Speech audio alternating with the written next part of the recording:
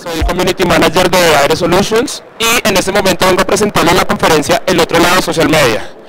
Eh, empezamos. Bueno, en este momento no sé si todos acá o alguno hayamos utilizado redes sociales, creo que todos en ese momento y Campus Party es un gran ejemplo de esto. Y hemos visto algunas campañas que se han llevado a cabo en estas. Digamos, promoción de marcas, promoción de, no sé, artistas, algún producto. o sea, las redes sociales nos brindan la libertad de promocionar lo que nosotros queramos, pero en este momento el tema que voy a exponer es sencillo. Cómo estas promociones nos están afectando las redes sociales. Y qué otro, cuál es el otro lado que haya más allá de estas promociones. En este momento voy a exponer tres casos eh, desde el año pasado, para mí han sido los más relevantes, ya que no han, como le decimos, no han desaparecido fácilmente, siguen actuales y siguen en, evolución. El primero que tenemos es el Social Media Week Book, eh, Bogotá, ese es un evento, Social Media Week es un evento a nivel mundial, se ha llevado a cabo hace desde 3, 4 años, estamos llevándolo a cabo en simultánea en varios países alrededor del mundo. El año pasado tuvimos simultánea con Berlín, Brasil, eh, Londres y Bogotá. Se llevó a cabo en septiembre. ¿Qué reúne o qué se hace en el Social Media Week?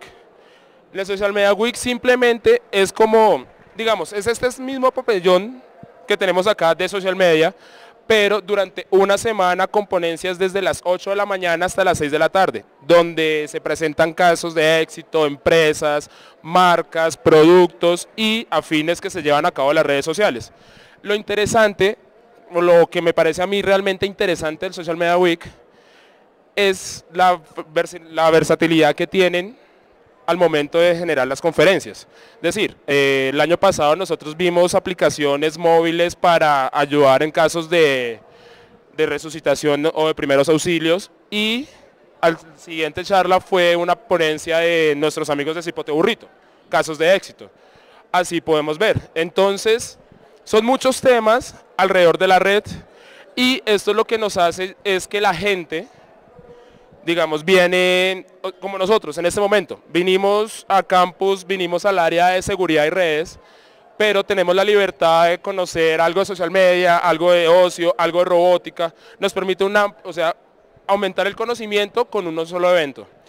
Este igual lo que nos genera es una interacción en las redes entre múltiples usuarios. Como podemos ver, digamos en este momento, yo sé que ustedes están en el área robótica, gamers, ocio, y acá tenemos compañeros del área social, algunos de seguridad, y todos en este momento pues estamos viendo una presentación que no es de lo que vinimos a ver, pero nos interesa. Este evento, el Social Media Week también hace esto. Y además de eso nos genera la interacción tanto en el 2.0 que ya sabemos que es el mundo virtual, como lo estamos llamando ahorita, como en el 1.0. Caso, por ejemplo, mi amigo Santiago, yo lo conocí en el Social Media Week y pues fue un 2.0 que volvimos a un 1.0. Estos eventos, el éxito es poder llevar eso, o sea, no, no quedarnos al lado de la pantalla. La difusión en canales de comunicación alterna, o sea, en este momento los principales, eh, radio, prensa, eh, que más aparte las redes, el voz a voz de la gente, todo esto se llevó a cabo tanto pues, para este evento, o sea, se unieron todos los medios para difundir esto. Es el primero. Segundo caso de éxito, eh, lo lleva a cabo Comunidad Talk Colombia. Comunidad Talk es una, es una agencia que tiene, el, tiene ahora como objetivo y como principio llevar el voz a voz de los productos a través de las redes sociales. ¿Qué es el voz a voz? Eh, ponemos un caso de hace, no sé, pongamos un caso de hace 10 años, cuando no teníamos ni idea de lo que era el internet para nosotros. yo iba y compraba un chocorramo. Ese chocorramo me gustaba, entonces le iba y le decía a mi vecino, mire, compré este chocorramo, me gustó el chocorramo. Eso es un voz a voz. ¿Qué es lo que hace Comunidad Talk en ese momento? Lleva productos a personas con un target específico y les brinda la posibilidad de que ellos mismos sean los que hagan el voz a voz. O sea en las redes, o sea en el 1.0, o sea a través del medio que sea. No obliga a las personas a dar una recomendación positiva o negativa, sino simplemente tome el producto y disfrútelo. Comunidad Tal, ¿qué hizo en este momento? La última campaña que ellos llevaron a cabo es con Coca-Cola, las neveras de Coca-Cola. Esas neveritas hace 3, 4 meses fueron enviadas 5 neveras. Se le enviaron 5 neveras a 5 tuiteros X, porque no va a decir que eran por los followers o por la influencia. Cogieron 5 personas, les mandaron una nevera. Ellos subieron una foto de la nevera ¿Qué, pasó ahí? Las personas que lo seguían vieron, oiga, usted tiene una nevera de Coca-Cola, ¿cómo hizo para conseguirla? No, no hice nada. O sea, en mi caso a mí me preguntaban qué hizo, yo no, no hice nada, simplemente me la enviaron a la oficina. Entonces llegó otra persona y, ay, ¿qué voy a hacer? Voy a mencionar a Coca-Cola a ver si me mandan una nevera. Mencionaron a Coca-Cola. Los seguidores de esa persona vio, hoy está mencionando a Coca-Cola, le van a dar una nevera, mencionemos a Coca-Cola. Esta campaña, pues no sé si sea, no, no hay problema si la revelamos o como tal. Ellos a nosotros nos envían una nevera de Coca-Cola con un papelito que dice gracias por confiar en nosotros. Si desean pueden compartir sus vivencias con el hashtag viviendo positivamente, no más. No nos dicen tienen que hacer cinco tweets diarios, dos posts en Facebook, una publicación en el blog semanal. No nos dicen nada, simplemente nos dieron un producto y dejaron que el cauce corriera.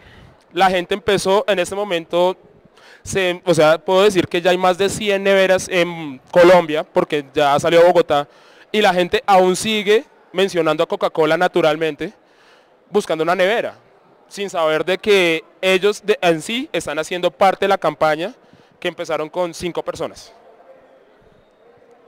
El siguiente caso, este es muy chistoso, porque pues no vende nada, no promete nada, es un concurso de barbas se llevó a cabo el año pasado, lo organizó Lady Marmalade, bueno, con otras tres muchachas, señoritas, ellas. Simplemente llegaron, se reunieron y dijeron, queremos ver las barbas de los tuiteros. Sencillo. Le dijeron a tres, cuatro amigos, oigan, suban una foto de ustedes con barba. La subieron, montaron un blog, dieron unas reglas básicas como foto de barba de frente, foto de barba de perfil y una breve historia de su barba. Cuando yo me enteré de esto, habían siete participantes. Cuando terminó el concurso, habían más de 65 participantes. Ellas no prometían nada, el regalo era una máquina de afeitar y una barbera. No pedían más. Pero ¿qué fue lo que pasó y qué fue lo curioso de esto? Y por eso lo resalto tanto llegaban una niña X, digamos, a mí me recomendaron muchos amigos y muchas amigas me recomendaban como, oiga lejos, suba su foto, suba la foto de su barba y nosotros votamos por usted. Y yo, ¿a dónde? No, que hay un concurso en Twitter moviendo esto. yo, listo, vale. Reviso y ya efectivamente sí, habían personas concursando y duraron dos meses en los cuales era casi a diario que las personas estaban mencionando, oiga, suba la foto de su barba, suba la foto de su barba, a todo el mundo y uno veía, digamos, mi tele era barbas, barbas, barbas, barbas, barbas. Yo tuve la oportunidad antes de hacer esta conferencia a entrevistar a Leida, ella. Me dijo, Alejo, en ningún momento yo les ofrecía nada. Yo simplemente quería con mis amigas divertirnos en la red y ver, a ver de qué éramos capaces de lograr lograron el blog en este momento actual está teniendo aproximadamente entre 400 y 600 visitas semanales, teniendo en cuenta que el blog se volvió a reactivar en junio de este año, o sea, empezando junio. Eso terminó el año, el concurso terminó el año pasado y el blog ha mantenido sus visitas. En este momento no hay concurso abierto, pero a partir del 1 de julio van a volver a hacer convocatoria. Interesante esto, de este caso, es ver cómo se movió tal punto aumentar de, cinco, de una idea de tres, de tres mujeres con dos amigos, se movió tanto a que la misma gente llevó a cabo o solicitó el segundo, que querían el segundo, quieren un tercero, ya hay ponentes, ya hay personas que están detrás del concurso, todos los días los mencionas, uno sigue la cuenta, es arroba barbas barbas, uno los sigue a ellos y todos los días es respondiendo, vamos a participar, vamos a participar no prometen nada, simplemente suban una foto y de premio, si podemos, le vamos a regalar una máquina a afeitar. Caso de éxito, rotundo, no ofrecemos nada, no queremos nada, solo queremos divertirnos y la gente lo mueve solo. Interesante. En este acá quiero, pues, no sé, preguntarles si ustedes han visto en sus redes algún caso que quisiéramos, que quisieran nombrar. Simplemente lo analizaremos.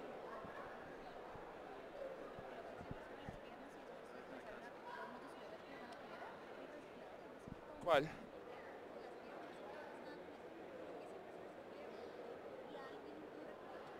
Cloquis. Cloquis tuvo un avatar hace eh, dos años o un poco más. Tiene un avatar de piernas. Ella mostrando sus piernas muy bonitas. Y eh, el avatar de ella se caracterizó ya más de un año con ese mismo avatar. Un día, la historia va más atrás de ese avatar. Un día llegó Edo Coronado y subió la misma foto de las piernas de él. Después llegó Domino Trino y subió las fotos de él. Y en una semana habían más de 40 avatares de piernas. ¿Por qué? Cloquis en ningún momento hizo convocatoria. Simplemente subió sus fotos de las piernas y a alguien le siguió la corriente. este año el reciclador volvió a subir el avatar de piernas, Cloquis lo volvió a subir, se viralizó, en ese momento ya lo volvió a quitar.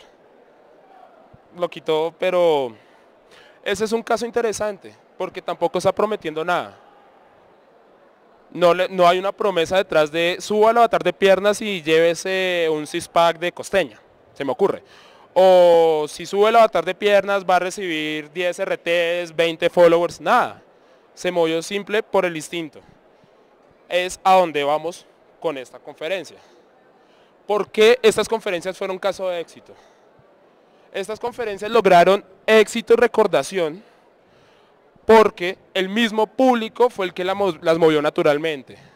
No hubo detrás de esto nada pagado, una un ofrecimiento de por medio, económico, material, social, no hubo nada.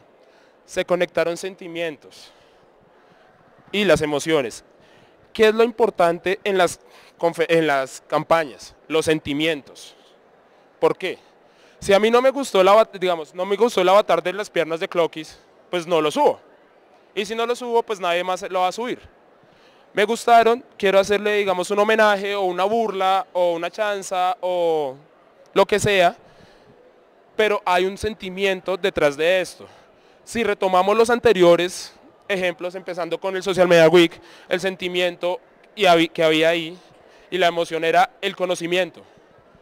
La gente iba a conocer, quería aprender o simplemente estaba ahí viendo qué podía ver o qué podía tener o qué podía perder.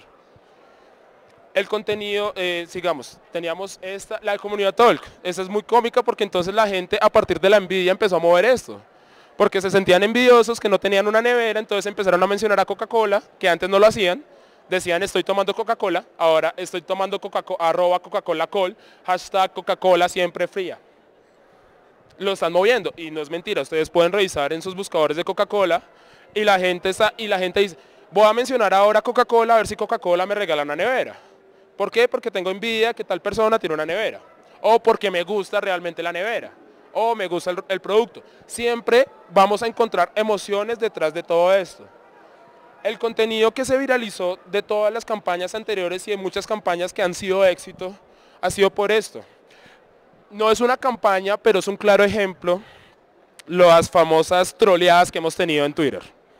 La última y más relevante pues fue a una amiga mía, a Besocaína, que no sabemos quién la empezó ni por qué la empezaron, pero en dos horas era Trend Topic Colombia, en 12 horas fue Trend Topic Mundial besocaína.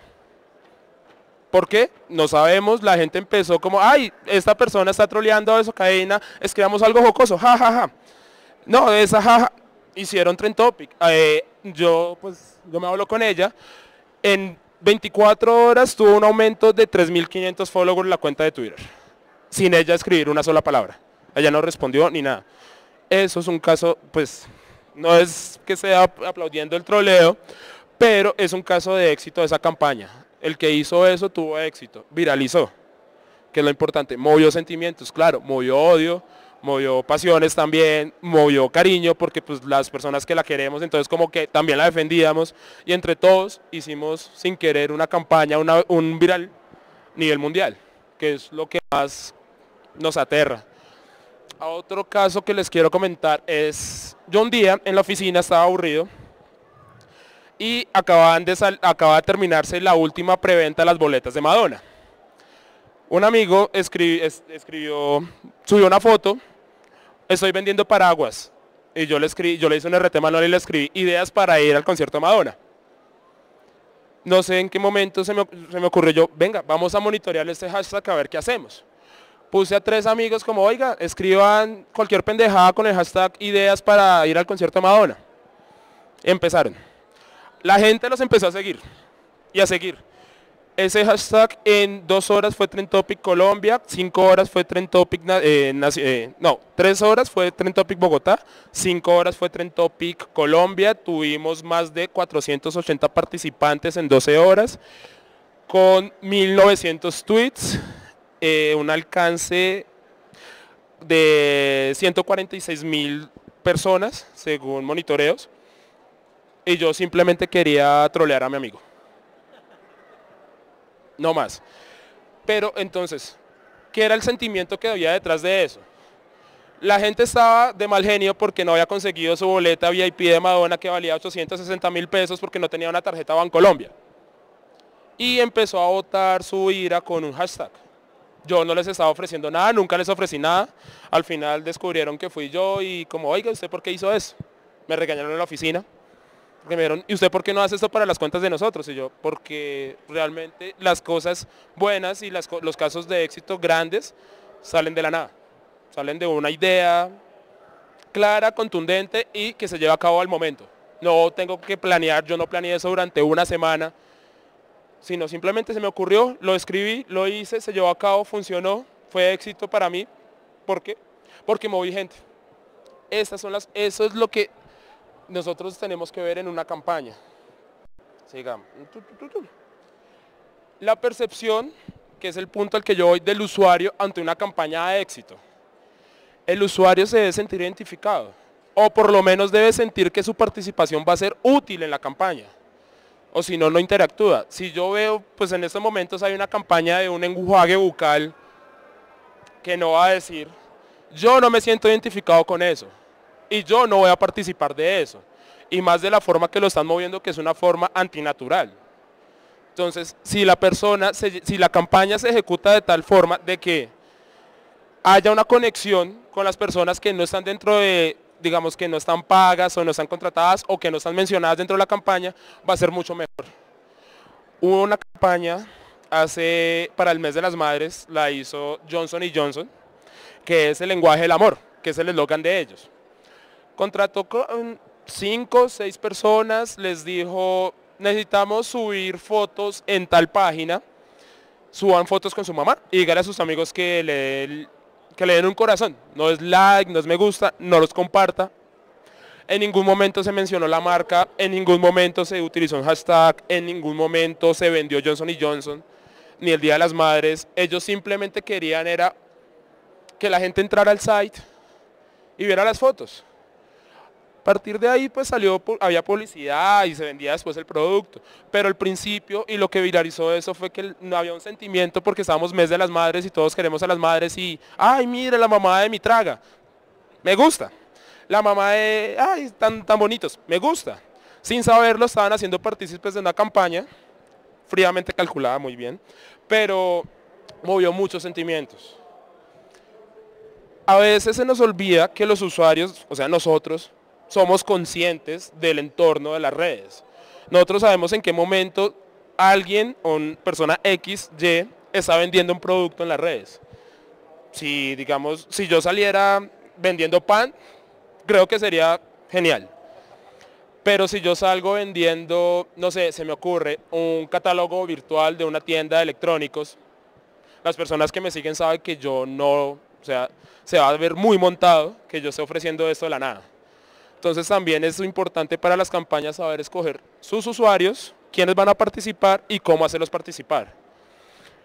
Los usuarios, pues ya algunos sabemos quiénes mueven las campañas, quiénes no mueven las campañas, sabemos la forma en que lo hacen, sea una forma limpia, sea una forma un poco guerrillera, nosotros sabemos. Lo que pasa es que las agencias a veces, eh, por prometer mucho, olvidan eso y creen que uno no sabe. Creen que las personas que participan de las campañas igual van a decirle a sus amigos, oiga, deme un like. Yo necesito tener cuatro likes diarios en tal pozo, si no, pues no cumplo el contrato. Cuando las cosas llegan a ese punto, es menos creíble las campañas y solo están vendiendo números. O sea, como sí, vea, con tal persona en 15 días se hicieron 6 posts en Facebook y se lograron 25 likes. Vaya a ver uno de esos 25 likes si realmente alguna persona leyó, aunque sea el post. A muchos nos piden el favor y uno como, sí, like. Ni siquiera sabemos a qué le estamos dando like. hay casos en los que sí las cosas se ven tan naturales que uno dice, oiga, like, leamos. O ve, estos están haciendo tal cosa, interesante. Pero en estos momentos ya están, están vendido todo y las ideas son tantas, o sea, son tan iguales que la gente le está apostando RT y likes. Entonces como que ahí ya estamos perdiendo el enfoque un poco. En mi caso he participado en unos concursos de eh, redes sociales y pues por participar y por ganar el premio, pero después simplemente me salgo porque son cosas que no consumo. Entonces es como, entro, salgo, gané el premio, no lo gané. Ese caso le pasó a un amigo y creo que a muchos les pasó acá con las memorias que empiezan por K. Que tenía la... Ah, ah, ok. Tenemos a la niña bonita que llega al puesto y nos da una pelotica de colores y nos dice, ay, entra a tu Facebook y ingresa acá y dale me gusta. Muchas personas cogían ese me gusta, cogían la pelotica, se iba a la niña y le daban ya no me gusta. ¿Qué se hizo ahí? La empresa de las memorias perdió mucho material son muy pocas las personas que realmente le dieron me gusta porque querían saber más de la, de la marca. Aún más pocas son las que van a estar pendientes de las publicaciones de la marca. Entonces, eso es una forma de conseguir likes o publicidad mal enfocada. Eso no nunca va a ser una campaña. Y si ojalá pudiéramos ver después de Campus las cifras de me gusta de esa marca, creo que serían desastrosas o no habrán subido otra, una cosa de éxito, un caso de éxito de Red Bull, acá en campus. El lunes yo me entrevisté, bueno, a mí me dijeron con unos amigos, oigan, está Red Bull acá, y bla, Y un pelado nos dijo como, ve, ¿y ustedes qué están haciendo acá? No, ta, ta, ta. ¿Quiénes son ustedes? Ta, ta, ta, 2000 de Ah, ustedes 2000 de pan, sí. Yo, ah, vea, mucho gusto, Luis, yo te sigo. Yo, no, no, usted no me sigue. Pero, ah, bueno, listo. Hablamos ahí un rato y nos pasó la tarjeta. ¿Qué pasó? Él era el director de mercadeo de Red Bull Colombia. Y estaba intentando entrar acá a campus pues para hacernos algo a nosotros. Listo.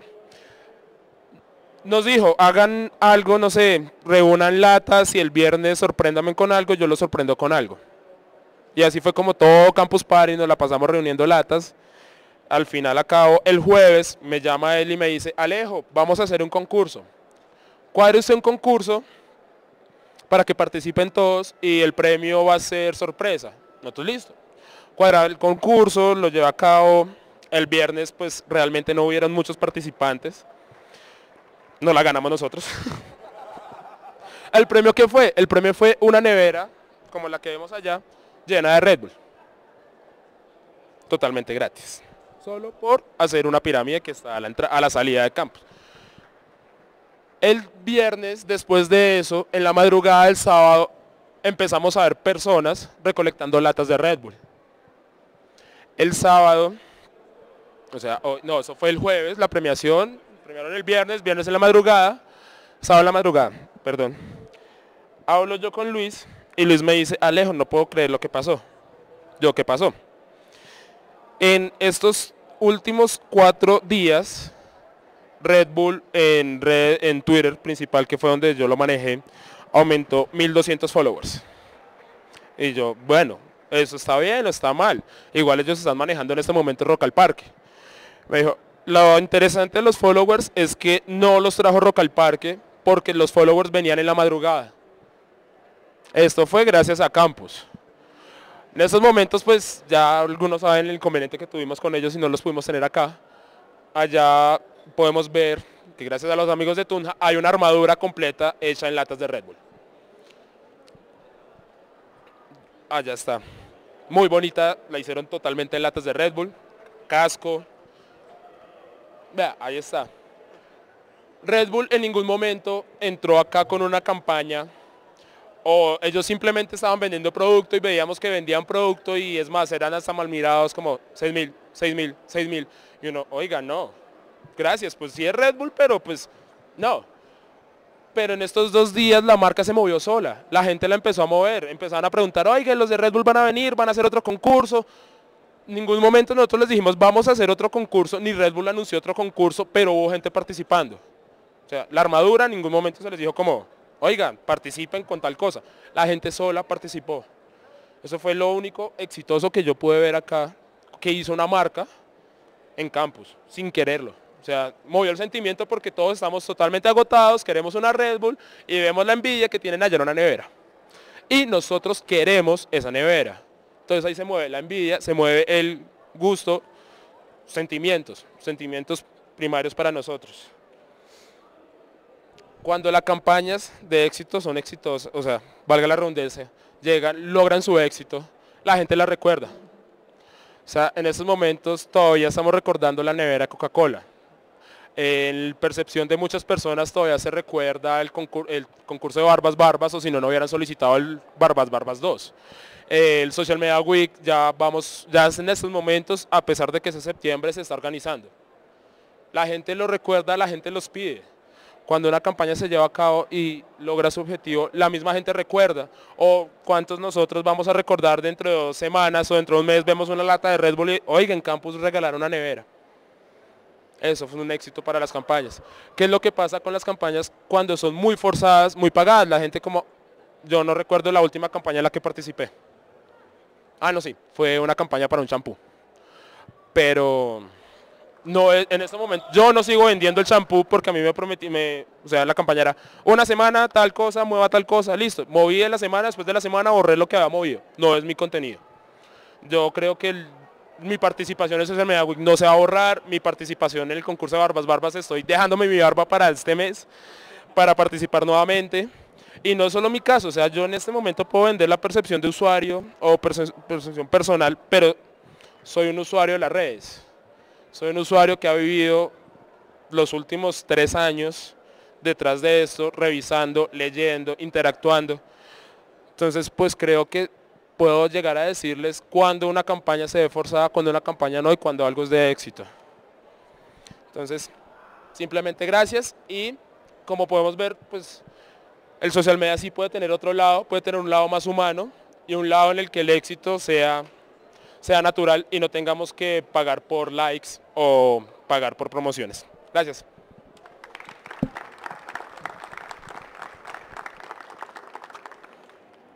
¿No? ¿Alguien tiene preguntas, dudas, sugerencias? ¿Un Follow Friday? Nada.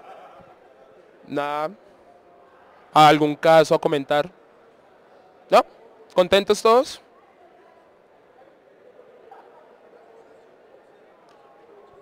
Ublime.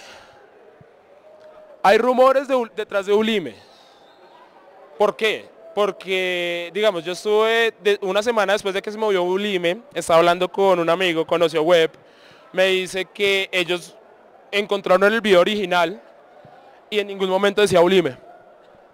En la transmisión original no decía Ulime, pero ese video fue tumbado de YouTube. El video que está en YouTube es el que dice Ulime. ¿Qué generó eso? Eso generó casi dos semanas de la gente hablando Ulime, muchos usuarios, eso es como un bautizo, como cuando, no sé, algo pasa acá y todos empiezan a llamarse así. En Twitter mucha gente se llamaba Ulime, Ulime yo no sé qué, Ulime esto, la hicieron meme, o sea, el éxito fue rotundo de eso. No se sabe quién estuvo detrás de eso, aún no se sabe si realmente Ulime, si Shakira dijo Ulime o no dijo Ulime. Por lo general esos ¿qué, ¿qué movió atrás de eso? El entorno, y ahí fue el entorno político en el que estaba ocurriendo eso. Además de eso, también tenemos que Shakira, pues no es que sea muy querida por los usuarios de la red, porque pues sí, es artista, es colombiana, la llaman el corazón, pero los usuarios de la red no la quieren mucho. Entonces, son muchos los factores que hay detrás de eso. Entonces, cuando uno quiere dañar la imagen de una persona es muy fácil, y más en redes sociales. Eso es muy probablemente lo que pasó con Ulime. Pero igual, en este momento son muy pocas las personas que se acuerdan aún de Ulime. O que se acuerdan, pero no lo siguen moviendo, porque ya pasó. Cuando algo sí queda en el consciente, se sigue moviendo.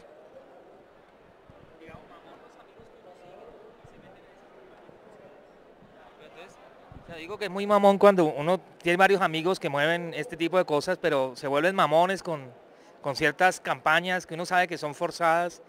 Pero bueno, igual uno no los borra ni, los deja de seguir, pero Renault Duster, por ejemplo, dice el tele tire que tengo una Renault y que la Renault me fascina y que no sé qué, pero uno sabe que es puro cuento, que ni la tiene, ni la va a tener, ni le gusta. ¿Has visto realmente lo que es el producto que mueven ellos?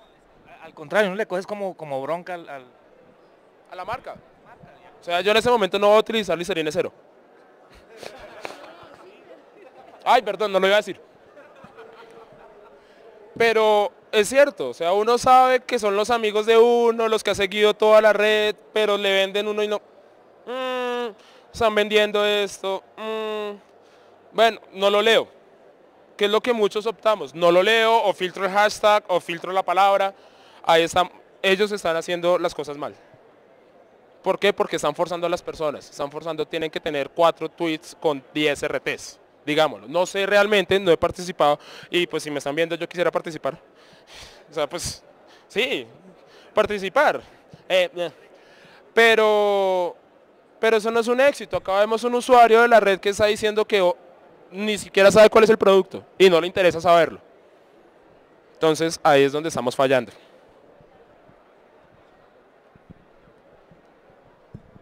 Eh, bueno, yo soy diseñador. Alguna vez intenté como meterme en el tema de social media y un problema con un concurso. No fue nada exitoso, fue un fracaso en realidad. Y cuando estábamos haciendo el concurso, eh, casualmente me llegó un mensaje de una muchacha que decía ser community manager, donde me mostraba evidencia de los famosos recompensas los, los grupos enlistados, la gente que participaba y pues casualmente en ese, en ese concurso cayó en casa recompensa. No sé cómo le das ese tratamiento a eso, cómo, cómo es la movida ahí. ¿Qué es lo que pasa? Digamos, Papa Jones. Por eso. Papa Jones dice, de la nada, en 5 minutos vamos a regalar 10 pizzas a las primeras 5 personas que utilicen el hashtag quiero mi papayón si nos diga y nos responda tal pregunta. Solo es que eh, salga ese tweet o salga ese post en Facebook y vamos a tener personas encima de la marca. Esos son los recompensas. ¿Qué es lo que pasa? Listo, uno lo vio por casualidad y dice, ay, venga, voy a participar.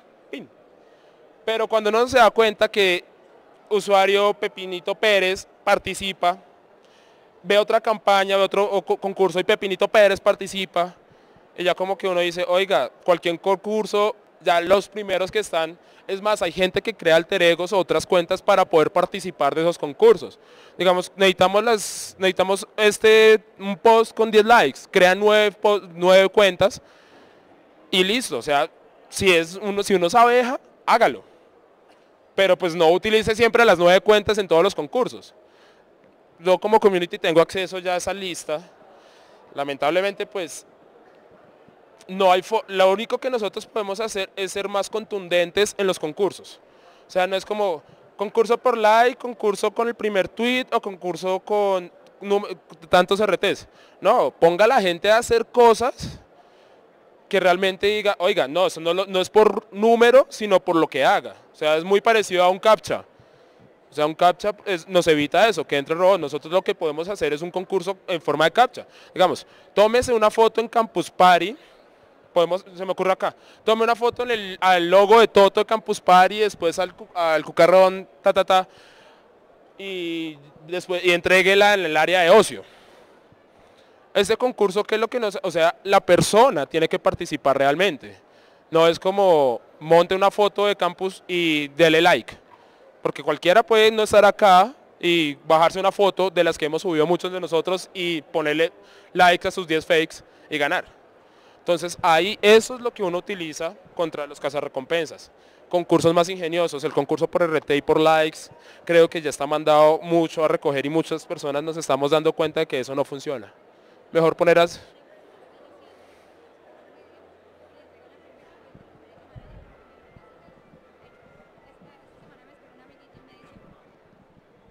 Buenas, hola. Esta semana me escribe un amiguito y me dice, Moni, eh, estoy de community manager de una cuenta y nomás tengo 39 likes. ¿Qué hago? Hago un concurso. Entonces yo le decía, mira, lo, primero que hace cualquier community manager cuando tenga una cuenta y no tiene experiencia es hacer un concurso por likes. Es lo primero. En su momento funcionó, era perfecto. Yo creo que todos lo hicimos en algún momento. Ya no funciona, ya funciona hacia el corazón. Campañas como la de Comunidad Talk, entre amigas, Cotex. Ahorita, por ejemplo, la de Cotex Evolution nos tienen a las niñas contándole a todos los niños, y a todo el TL, que usamos Cotex. Pero funciona. Eso sí es muy cierto, o sea, antes uno sí decía, y es, no, pero también ahí vamos a llegar al punto del usuario final. No sé si recuerdan como hace unos 3, 4 meses salieron cuatro páginas diciendo, dale like a esta página, comparte esta foto y a los 250 mil primeros les ganaron un iPad. Que uno veía y uno había gente que le llegaba a uno como, le compartía en el muro, deme like y me va a ganar un iPad. No tengo que hacer más. y uno, son idiotas. O sea que lo digo sin sonido. Pero uno se daba cuenta de unas páginas que solo tenía ese post, 84 mil usuarios. Están haciendo una promesa totalmente falsa. Y eso es lo que antes funcionaba, pero ahorita un- nosotros nos toca meterle más, más corazón, más cabeza para atraer a la gente, para poder hacer éxitos.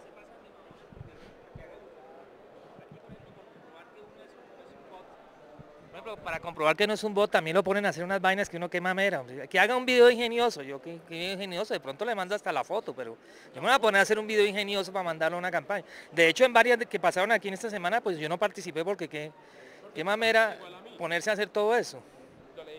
Sabemos cuál es. Pero si lo ponían como un video de 30 segundos, dele like y siga y utilice el tweet con el hashtag tal. Pues sí, o sea, el que la ganó fue chévere porque ¿cuántos gan- ganaron? ¿Tres? Creo. ¿Tres o dos? ¿Y cuántos participaron? Cinco. Entonces, ¿qué significa eso? Fueron cinco followers nuevos, cinco fans nuevos y, y el premio pues era muy bonito para solo cinco followers nuevos. Cuando de pronto un community manager llega donde un cliente y el cliente lo quiere medir por el número de me gustas, es allí donde el community manager debe tener la habilidad de demostrar que es mejor calidad que cantidad. Yo prefiero tener 100 eh, me gusta, pero que de los 100, 20 de ellos siempre estén interactuando que tener 3000 y de los 3000 solo tener 5. Entonces es allí donde el community manager debe tener esa pericia para poder venderle eso. Desafortunadamente el cliente cuando contrata el community no sabe de esto y él dice, no, eso tiene que subir. Exacto, eso es lo que ven ellos. Exacto, los vende humos. Vamos acá y después vamos allá y después creo que nos cortan. Eh, vale, yo no sé si, si sea desviarse mucho de lo que estamos hablando de los concursos, pero a mí me parece interesante el fenómeno del cloud, de la aplicación cloud, sí, eh, de la influencia que se puede ganar en un espacio como este, porque he estado al lado de conferencistas donde en estos días su cloud disparado, pero yo les pregunto y me pregunto a mí misma también, ¿sé cómo funciona esto? ¿Realmente la influ- lo que me dice ahí de influencia sí es cierto? No, no sé. Pues sí, nos vamos a desviar un poco, pero pues es tema que sí, nos puede llegar a servir. Cloud hace un año, más o menos puedo decirlo, era totalmente válido. No le decían, tiene tantos puntos de Cloud y uno decía, oiga, tengo tantos puntos, soy, soy influencia. Cloud es un plano cartesiano con cuatro esquinas, entonces eso significa que tiene ocho puntos de corte. Entonces nos medía de acuerdo a ocho características y ahí nos daba un número X. Llegó un momento, me acuerdo que yo tenía 69 puntos de cloud, duré una semana completa diciéndole a mis followers por la madrugada, regálenme una mención, entonces eran entre 15 y 20 menciones y subí a 73. De la nada apareció Cloud y nos hizo un cambio del algoritmo y 59. No, oiga, pero pues, ¿qué pasó acá? Hay un caso de un amigo que pues a ustedes les cabe muy bien y, tiene un número al final del usuario. Él tenía 79 puntos de Cloud tenía 79 puntos de cloud, cambió el algoritmo y quedó en 52. Tiene más de 3, 220 mil, 30 mil, ya no sé ni cuántos followers tiene, sigue casi al doble de las personas, pero ya no es influyente. ¿Qué es lo que pasa? Anteriormente nosotros nos casamos mucho con Cloud, duramos casi, yo de los dos años que llevo en el área de community, duré año y medio casado con Cloud. Entonces yo no, esta persona para mí no es influyente porque tiene menos de 60 puntos de Cloud. Es un estándar de 1 a 100, donde el, promedio de una persona activa en la red que, tenía que estar entre 50 y 65. Entonces yo, uy, no, venga, tengo que hacer más RTs, tengo que hacer más menciones, tengo que hablar más con las personas. En estos momentos ya esto se ha mandado a recoger. Sabemos que una persona puede tener 20 puntos de cloud, pero y tener una comunidad, digamos, de 150 personas, pero esa persona es muy probable que esas 150, 149 le hagan caso a una persona que tenga más de 100 mil followers, de esos 100 mil followers, muy probablemente ni el 1% le hagan caso. Entonces, aparte de Cloud, pues hay como conocimiento general, ya salieron muchas otras herramientas.